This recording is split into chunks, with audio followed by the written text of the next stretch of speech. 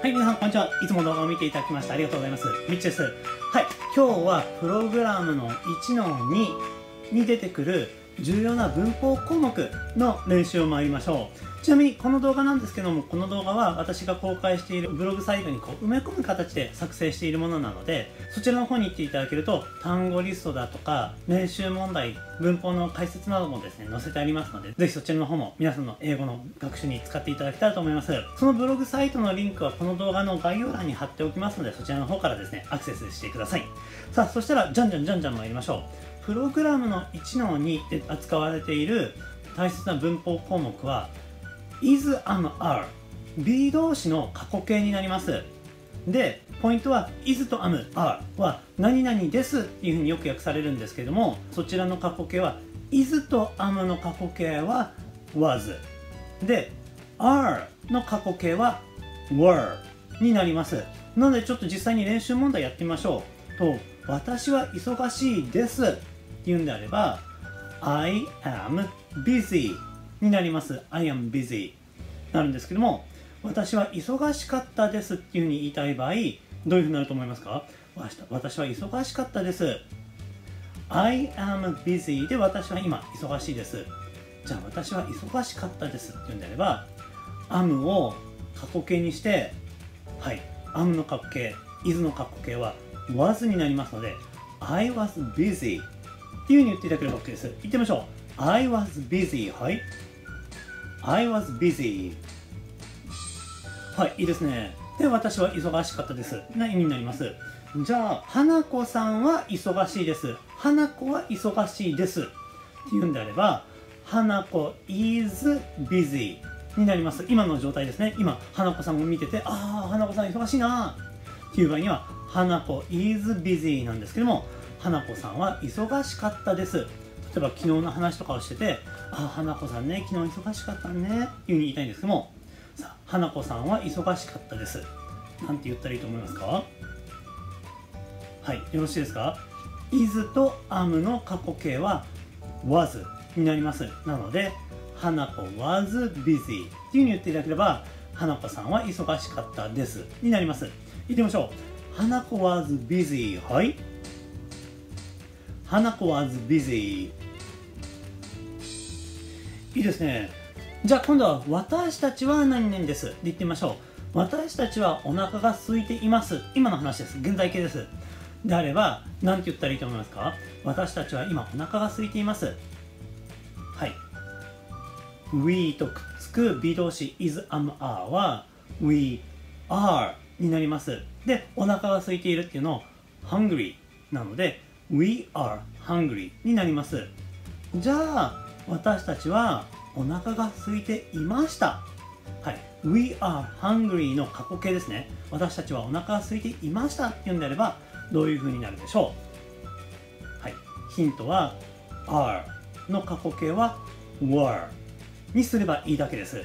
なので We were hungry で OK です。言ってみましょう。We were hungry はい。We were hungry はい。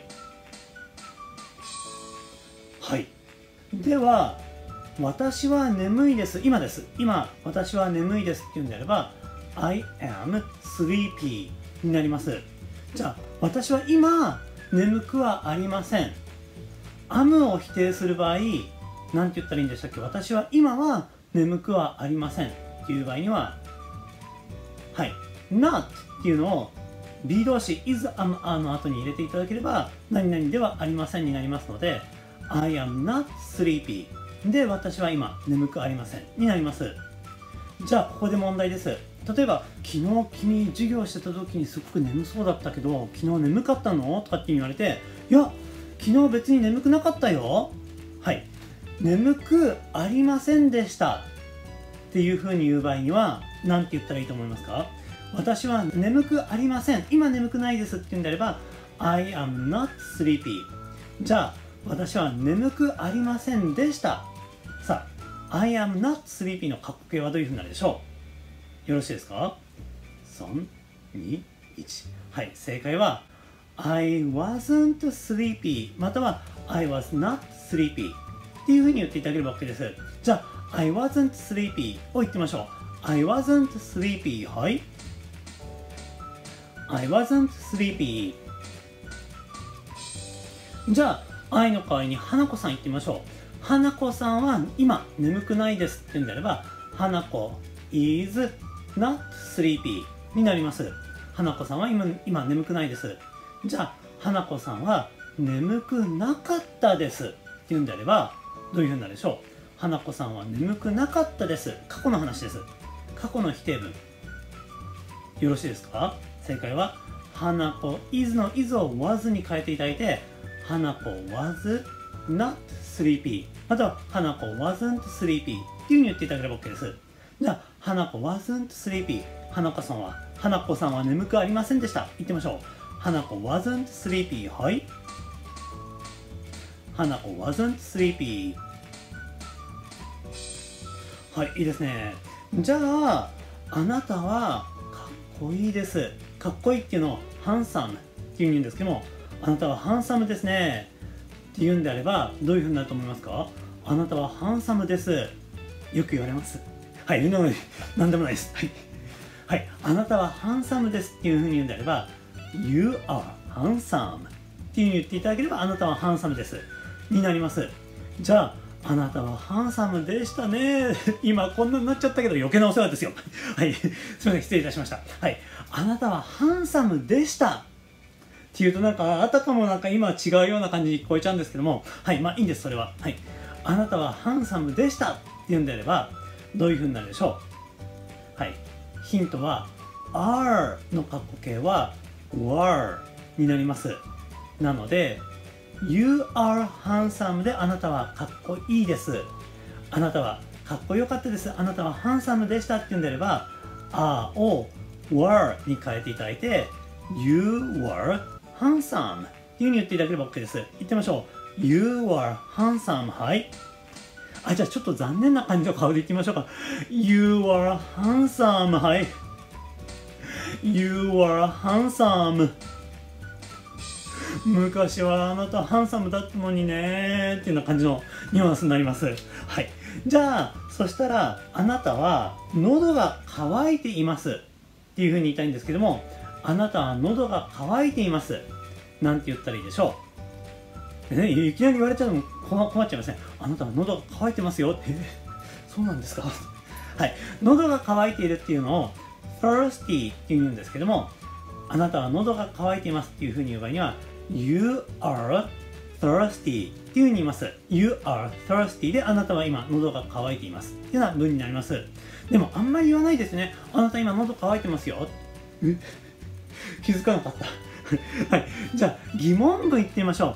あなたは喉が渇いていますかっていうふうに言うんであれば You と A を You と A を入れ替えて Are you thirsty? であなたは喉が渇いていますかになります。